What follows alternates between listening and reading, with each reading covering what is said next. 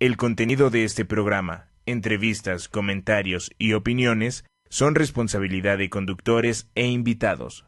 Om Radio presenta.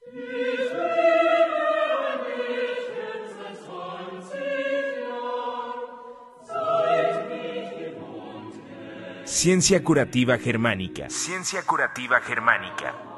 Sanar es posible cuando comprendes el sentido biológico de las enfermedades, las situaciones y emociones que la originan. Te acompaña en esta hora Dr. José Antonio Galicia González, especialista en nueva medicina germánica. Especialista en nueva medicina germánica.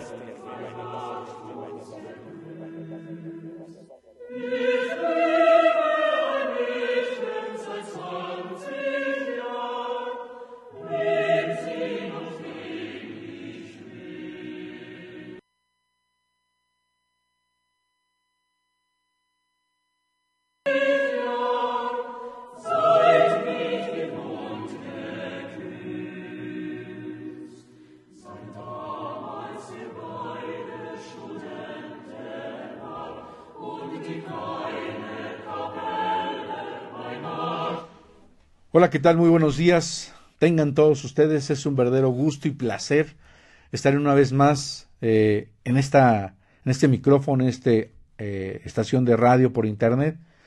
Gracias a un radio por permitirnos una vez más, una semana más, transmitir este es su programa Ciencia Curativa Germánica con su amigo y servidor doctor José Antonio Galicia González. Cabina, muy buenos días, ¿qué tal amanecieron?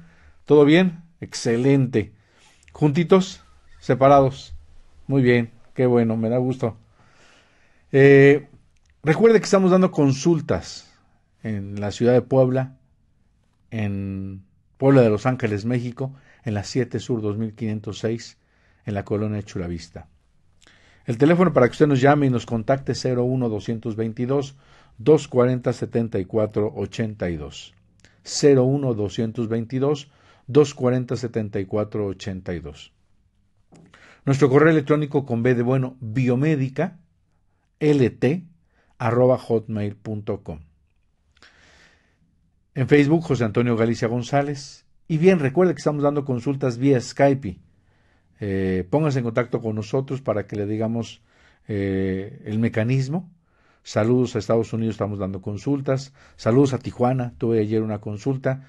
Eh, quedó encantada la señora, una señora con un cáncer lobulillar infiltrante de mama izquierda, que desde hace un año decidió no hacerse nada, que decidió no hacerse quimioterapia, decidió, decidió no hacerse radioterapia, decidió no hacerse mastectomía radical, es decir, amputarle la mama, y el día de hoy está bien.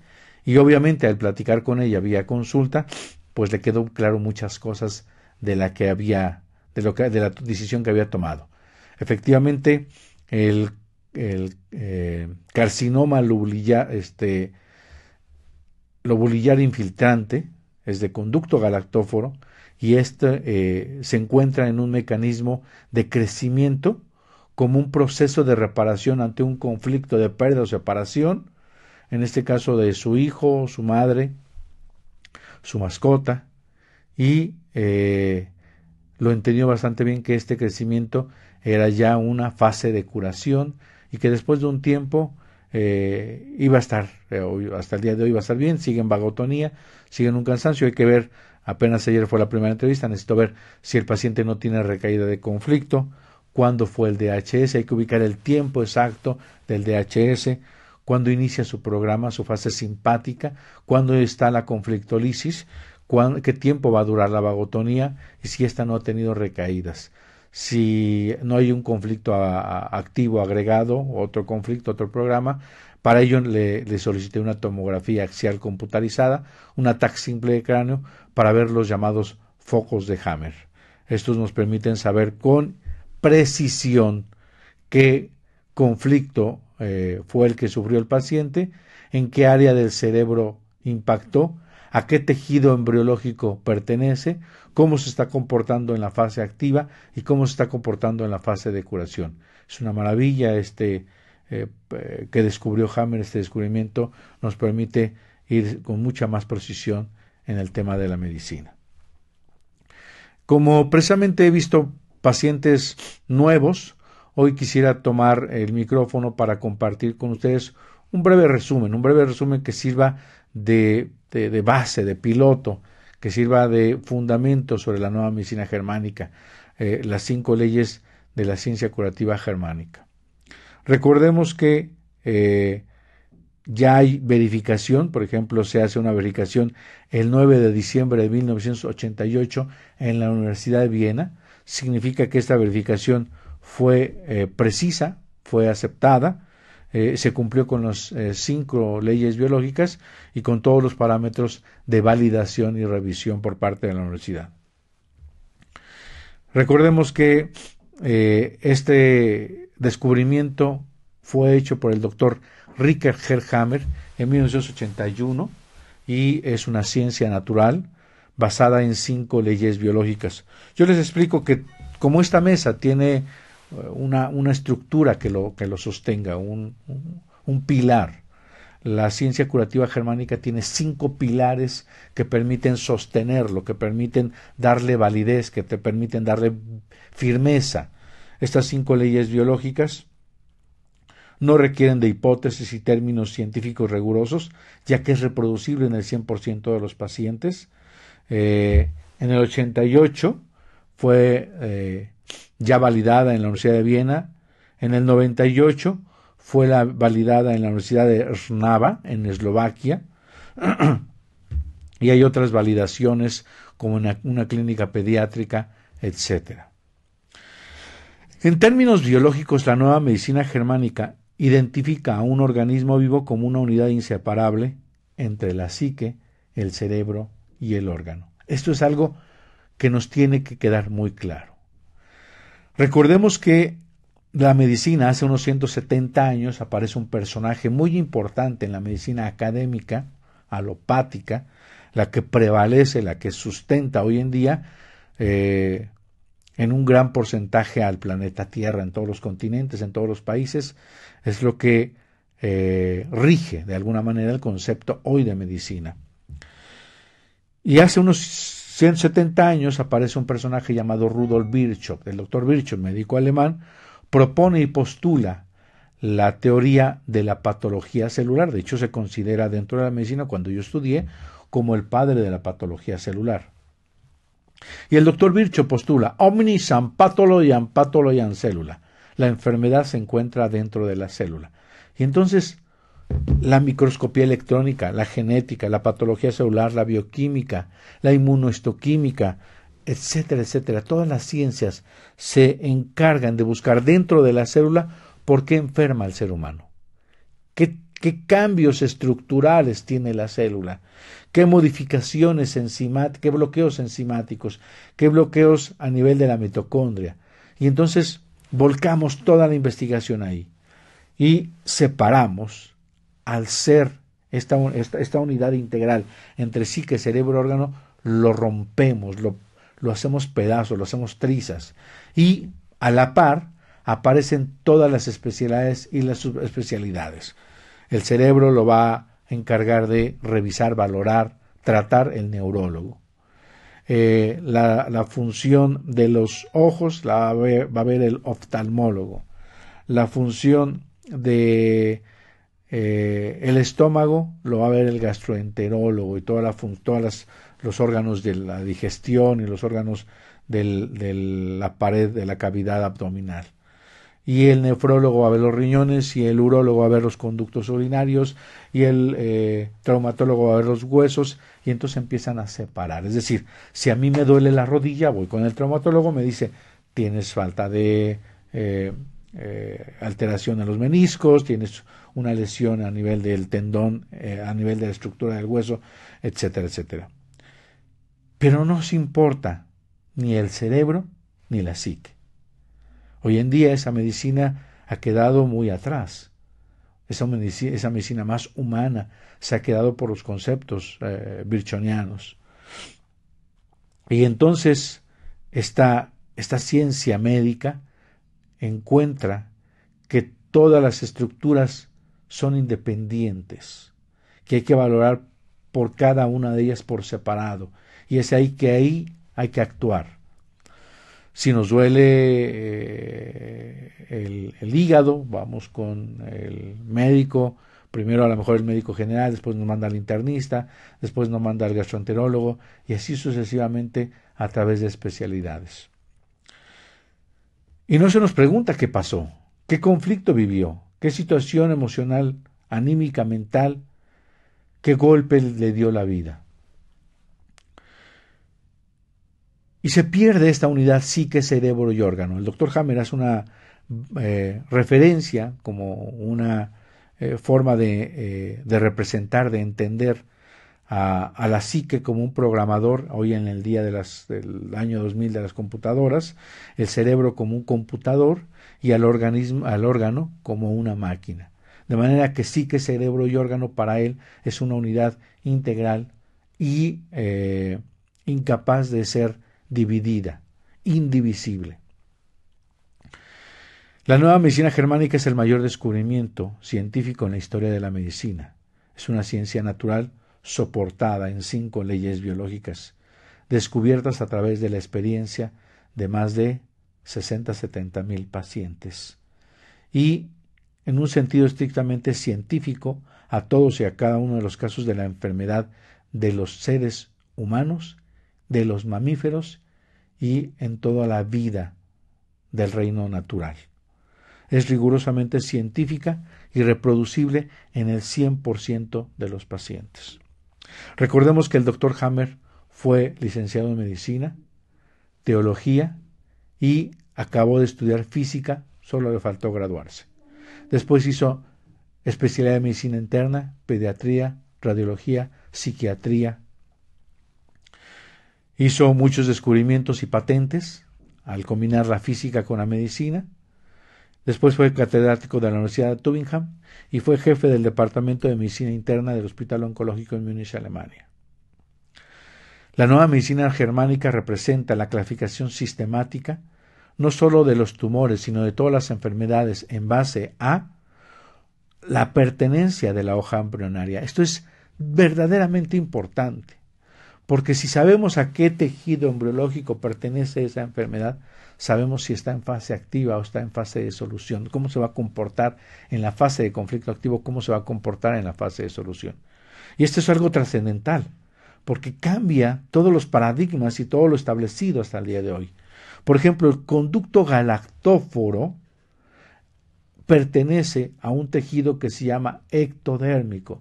Recordemos que en la embriogénesis hay la última capa que recubre todas las estructuras y tejidos es el ectodermo.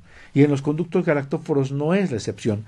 En el desarrollo embrionario hay una invaginación de los conductos galactóforos que permiten su recubrimiento, al igual que las este, arterias, venas, la parte que recubre se llama íntima, igual que la parte del tubo digestivo que se llama mucosa. Es decir, ocurre un recubrimiento que es ectodérmico. ¿Esto para qué nos sirve aquellos que están enfermos? nos sirve porque nos cambia toda la estructura y paradigma.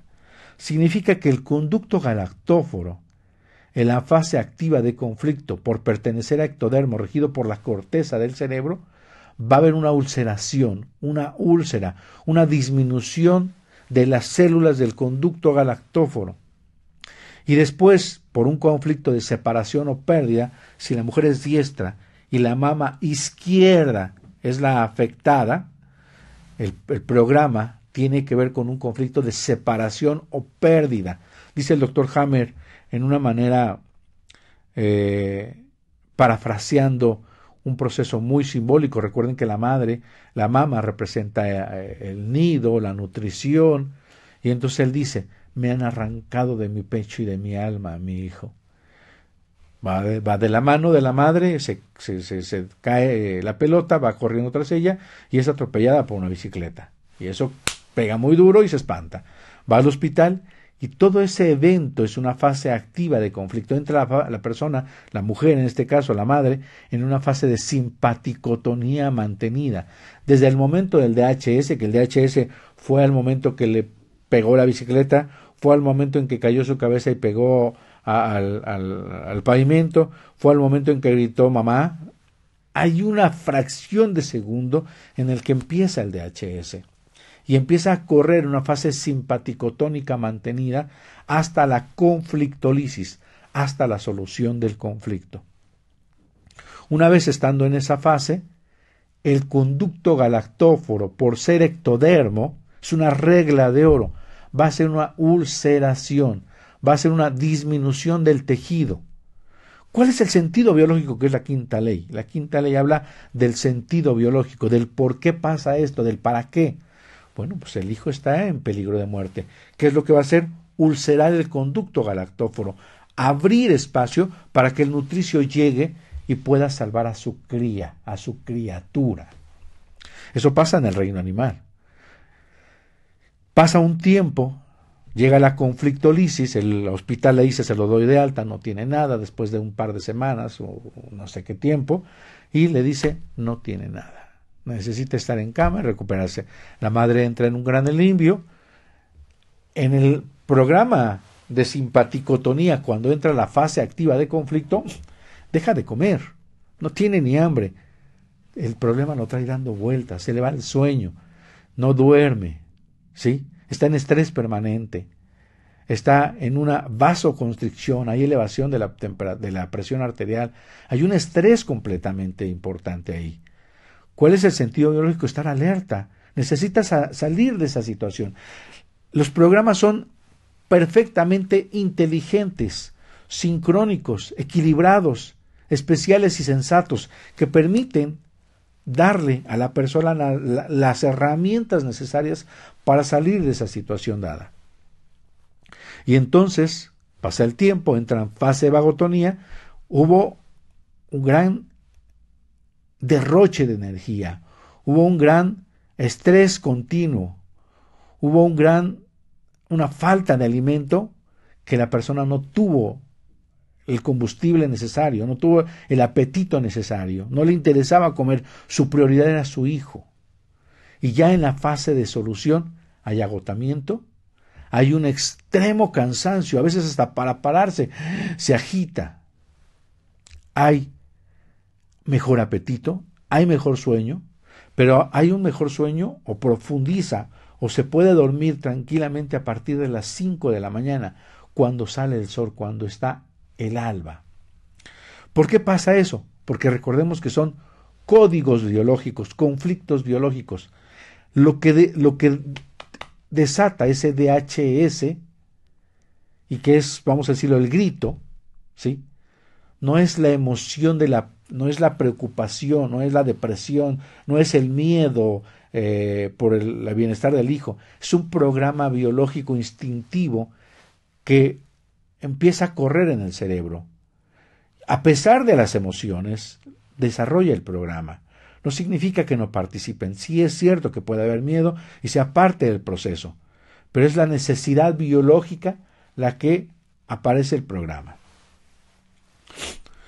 Y ya en la fase de vagotonía hay mejor, mejor sueño y a partir de las 3 de la mañana o las 5 que sale el alba porque en el reino animal, cuando un animal está lesionado, un venadito con su pie está lastimado, él no duerme en la noche, porque es fácilmente depredado. Entonces se mantiene despierto, aparece el sol y puede dormir profundamente, porque en caso de peligro sale corriendo, sabe por dónde escapar, sabe que puede escapar por algún lugar y es mucho menos vulnerable.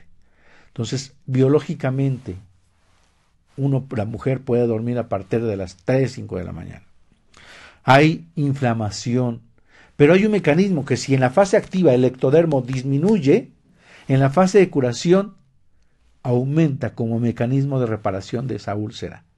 Lleva, lleva a la naturaleza, al cerebro, una orden a tapar ese bache, pero puede haber un crecimiento mayor, puede haber un proceso inflamatorio mayor, hay una obstrucción del conducto galactóforo, había secreción, se pudo haber sido un proceso obstructivo, un proceso inflamatorio, y se siente un nódulo. Y entonces en la fase de vagotonía, con dolor, con cansancio, con malestar, con inflamación, vamos donde el médico. Nos saca una biopsia y encuentra un crecimiento celular de conducto galactóforo, ya sea canalicular o ya sea intraductal. Infiltrante también le ponen. Y esa palabra, ¿cómo le pega a las personas? ¿Cómo le pega porque el tema de la metástasis está muy clara en la medicina, pero la investigación del doctor Hammer pone en tela de juicio la metástasis. Si un cáncer, bajo las cinco leyes biológicas, y la primera, la ley férrea del cáncer, la ley del hierro, explica que un cáncer aparece a partir de un DHS, un segundo cáncer aparecería de la misma manera, a través de un DHS. De manera que no existe la más remota posibilidad de que un tejido embriológico migre y metamorfose en el camino o llegue al tejido y haga que prolifere siendo de un tejido diferente. Hay barreras histológicas, histoquímicas, en las que un tejido nunca se ha visto con tantos millones de estudios de sangre, una célula tumoral del el riñón nefrona, viajando por el torrente sanguíneo y dando un segundo estadio, un segundo cáncer en el pulmón. Entonces, esto es incongruente.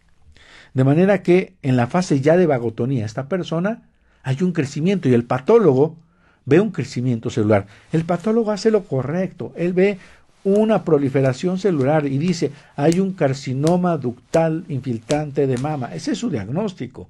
Él no sabe el descubrimiento de la nueva medicina germánica. El doctor Hammer no sabe que se dio cuenta el doctor Hammer que este tejido va a crecer como mecanismo de preparación y que pasado un tiempo deja de crecer y que pasado un tiempo se resuelve, se, soluciona, disminuye con ayuda de bacterias, virus o se encapsula y eso no pasa a mayores. Yo les comento algo. Un crecimiento celular, eh, una mastopatía fibroquística de 5 centímetros. Mi pregunta es, ¿hay una aparición espontánea? Las células, mientras crecía de un milímetro a 5 centímetros, afortunadamente no hubo biopsias, ahí no hubo mitosis, ahí no hubo crecimiento celular. Ahí no hubo un cáncer. Desde luego que sí. Pasó, solucionó el conflicto y se fibrosó y se encapsuló. Y lo que ven, ya no hay mitosis, ven como una mastopatía fibroquística. Entonces, es bien importante saber a qué tejido embriológico corresponde el proceso de enfermedad. Vamos a nuestra primera pausa comercial y regresamos con ustedes aquí en su programa Ciencia Curativa Germánica con su amigo y servidor, doctor José Antonio Galicia González, aquí en la estación número uno por Internet. On Radio, transmitiendo pura energía.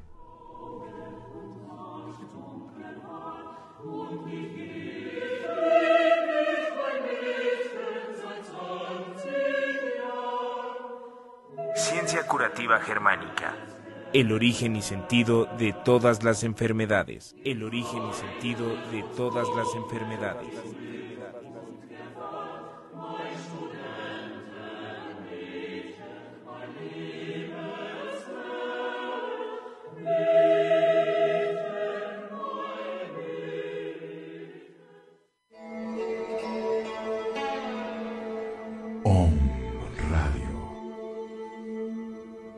Muchas voces. Muchas voces.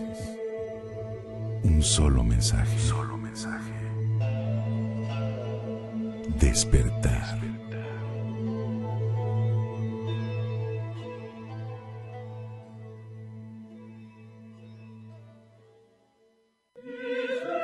¿Sabías que la ciencia curativa germánica es descubierta por el doctor Ricker Herhammer? ¿Sabías que todo proceso de cáncer se puede entender bajo las cinco leyes biológicas? Escúchanos en nuestro programa de radio todos los viernes de 11 a 12 aquí en la estación Om Radio, transmitiendo pura energía, transmitiendo pura energía.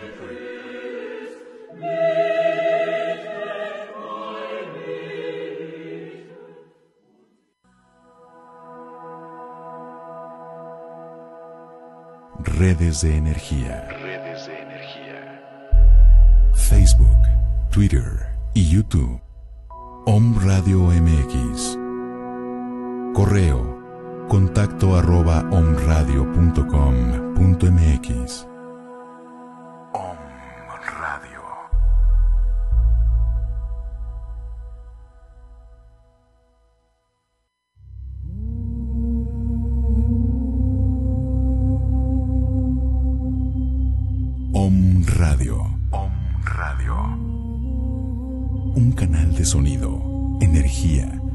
frecuencia y vibración. Enviando una señal desde la ciudad de Puebla de Los Ángeles, México. Para todo el que quiera despertar. Para todo el que quiera despertar.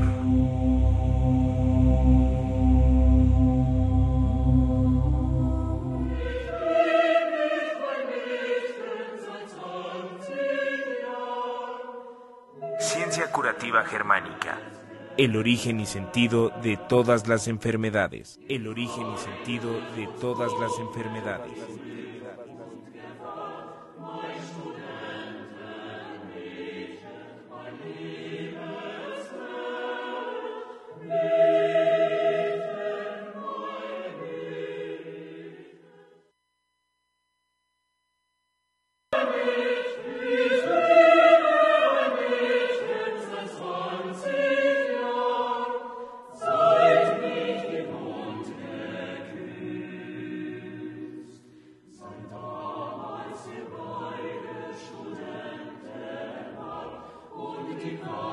Muy bien, regresamos después de esta pequeña pausa en su programa Ciencia Curativa Germánica.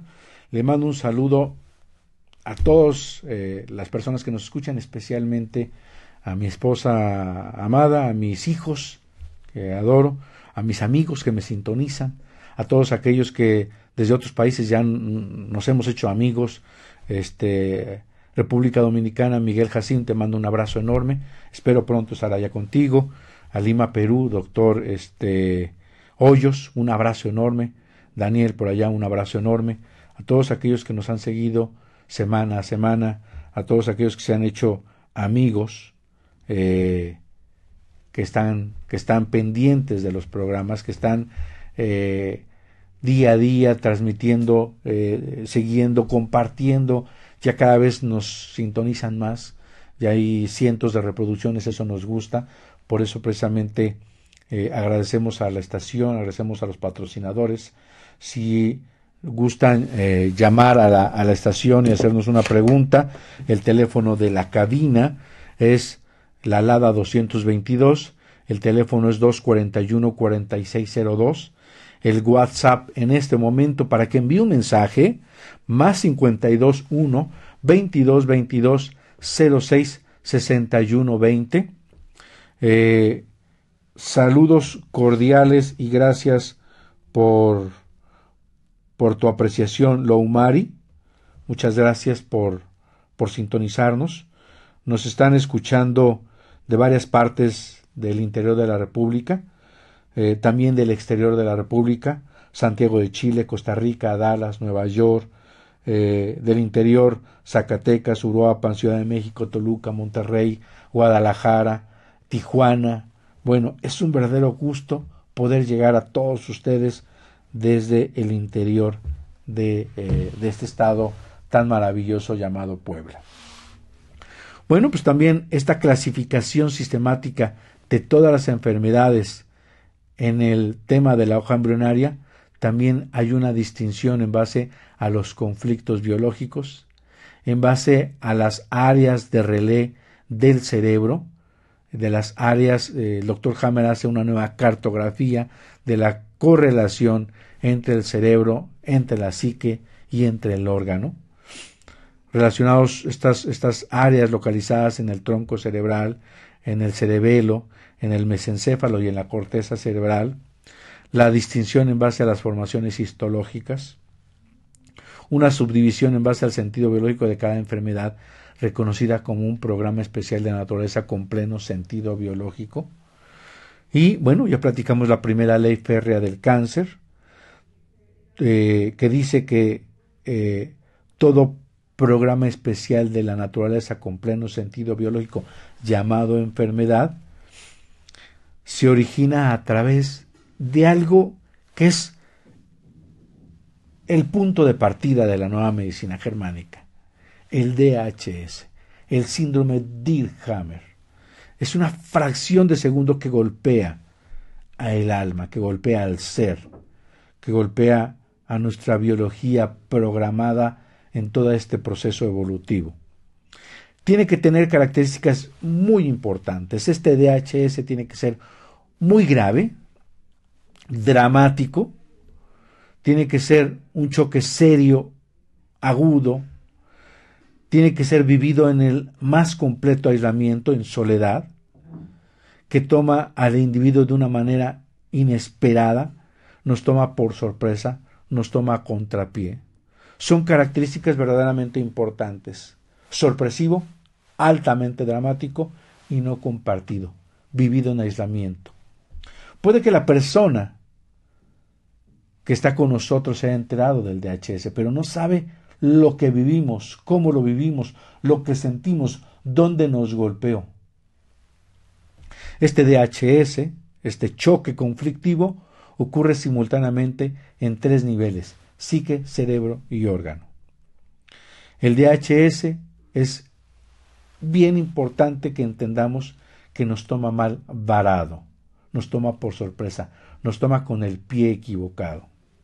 El DHS, sin embargo, al individuo tiene la oportunidad de compensar su desgracia y hacerle frente a esta situación inesperada. En el momento del DHS, eh, de este choque, provoca la aparición de un programa especial de la naturaleza con pleno sentido biológico.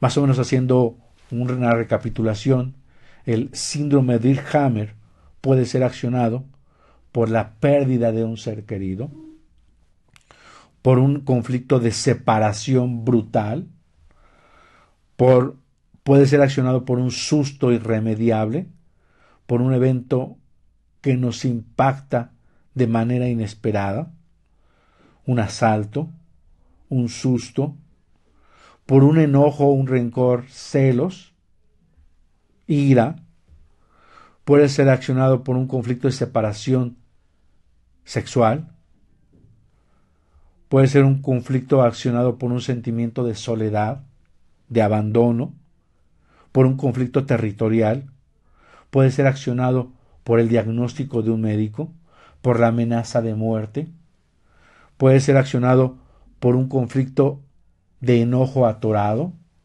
por haber sufrido una guarranada, una marranada, una cochinada, algo innoble, algo desleal, algo sucio. El conflicto de bocado, no alcanzar el bocado, no ser lo suficientemente rápido para alcanzar el objetivo, el bocado, la tajada, no poder tragar ese bocado, no poder pasar ese bocado, no poder eliminar ese bocado, tiene que ver con todo el tubo digestivo. El DHS, el paciente experimenta una fase de estrés prolongada, manos frías, pies fríos, pasa día y noche sobre dándole solución, solucionar este conflicto. En la fase de curación, después de resolver el conflicto, se va a encontrar débil, cansado, va a tener muy buen apetito, va a haber aumento de la temperatura, va a haber fiebre, dolor de cabeza, duerme bien, de las, pues de las 3 de la mañana a las 5 de la mañana. Algo bien interesante. Cuando hago terapia, así le llamo cuando voy a buscar el DHS, y cuando sé que logré conseguir sacar el DHS en su perfección, en su totalidad, en su momento al 100%, el paciente en automático entra en vagotonía. Se siente cansado, siente con dolor de cabeza, se ponen sus manos calientes, se ponen sus pies calientes, entra en una fase de vagotonía, en una relajación, una tranquilidad. Pueden decir, me siento liberado, me siento relajado, sentí que se me quitaron 50 kilos de peso sentí que volvía a nacer. Una paciente que le hice una terapia, voy a omitir el nombre, eh, ella es de Lima, Perú, hice una terapia por internet. Ella había sufrido un conflicto biológico de pequeña, de hoy es una mujer joven, de señorita. Hice la terapia y me dice que a partir de hacer la terapia, sintió que volvió a tener deseos de vivir. Se inscribió, fue a ver para estudiar de nuevo y ella es, es casada, madre con un hijo, pero lo que hizo es volver a regresar a sus aspiraciones. Se, me, se está arreglando los papeles para volver a estudiar. Otra señora, creo que lo comenté en el programa pasado, al sacar el DHS, el chico de 11, 12 años dormía con los padres por un conflicto de miedo que, tiene un proceso de miopía, cada vez va siendo más crónico. Después de la terapia, solo se fue a dormir sin pedirle absolutamente nada. Es decir, cambia desde el cerebro muchas cosas, modifica desde el cerebro muchas cosas el lograr sacar el DHS. Los problemas, los problemas comunes, cotidianos, no generan, no necesariamente son conflictos biológicos. Tiene que tener esas características de una necesidad biológica, tiene que tener esa característica de ser sorpresivo, dramático y no compartido. Tiene que estar enlazado, tiene que estar involucrado con una función primaria, con una función biológica del ser. Algunos ejemplos de conflictos, conflictos de pérdida. Puede que haya perdido el hogar, el trabajo, lo hayan, le hayan quitado una casa, una propiedad. Conflicto de ataque. Puede ser comentado a través de un ataque ofensivo. Yo le platicaba el día de ayer, me parece, a una paciente que llegó una vez una mujer con asitis y haciendo ya la terapia y buscando el DHS, recordamos en la consulta que la hermana, pues que no se llevaba bien, ella va toda emocionada, ilusionada a ver a la hermana y le dice, esa falda se te ve horrible, estás, tienes una panzota y le señala la panza. Horrible. No sé si le dice asquerosa, pero siente como una patada de mula en el estómago, dice la paciente. Tiempo después hace la asitis. Recordemos que en la fase activa el conflicto de ataque al estómago involucra el peritoneo, la capa que recubre a, los órganos abdominales.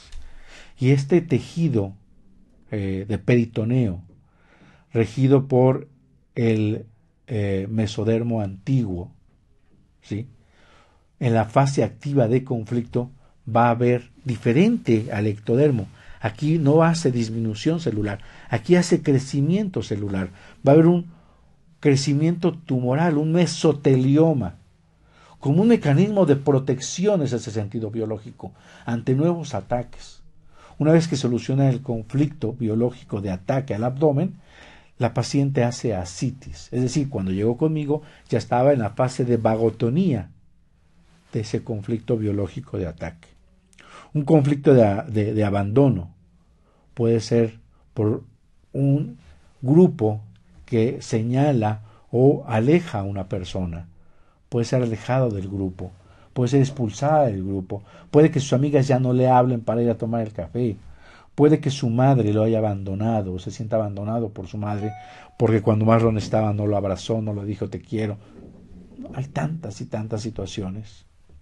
Puede que esté en el hospital y se sienta solo y abandonado porque pues la esposa tiene que trabajar y no lo puede cuidar. No ve a sus seres queridos, no está en su casa. Miedo a tener que ir al hospital. Ya con el simple hecho de tenerle miedo al hospital puede venir un conflicto de abandono. ¿Y qué afecta? Los túbulos colectores. Y en la fase activa, este es endodermo.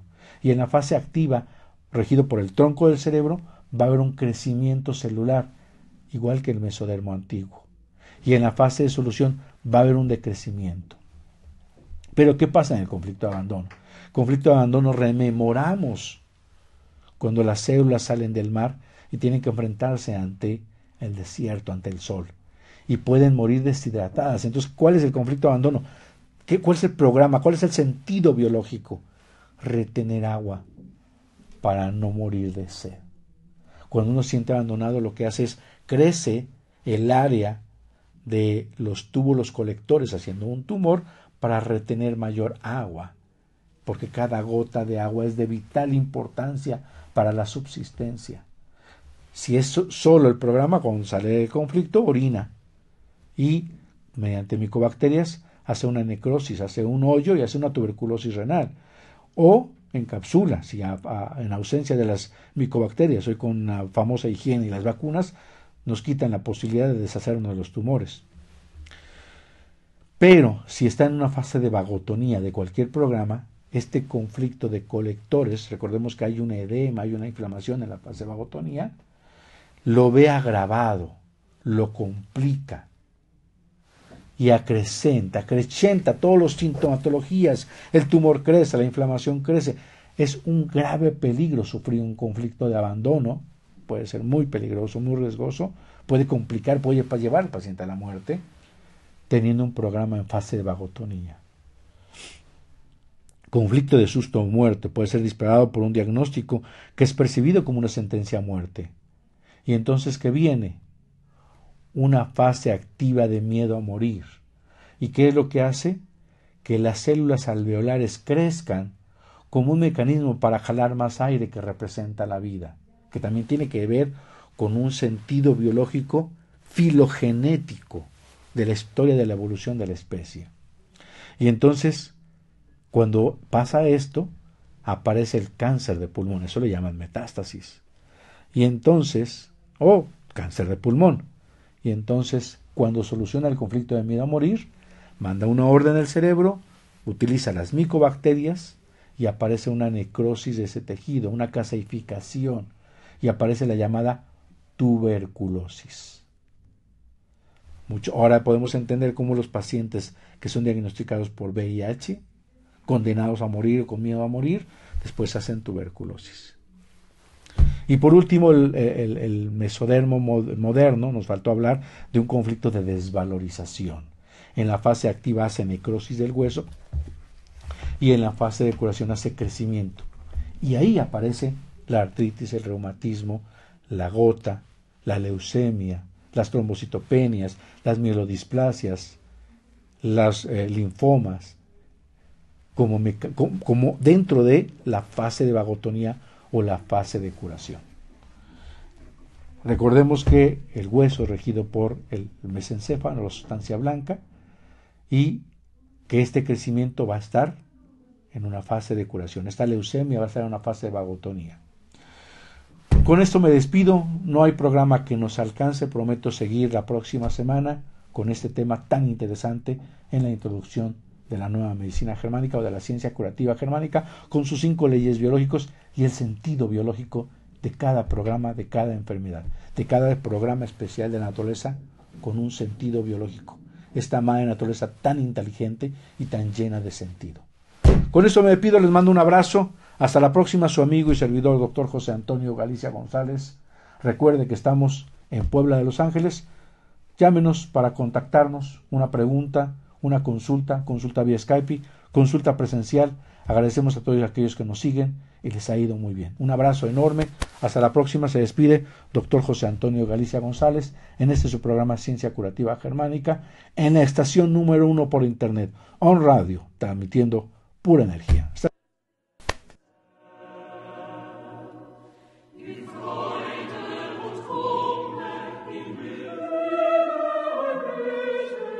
Ciencia Curativa Germánica. Empieza a sanar. Nos escuchamos en la siguiente emisión.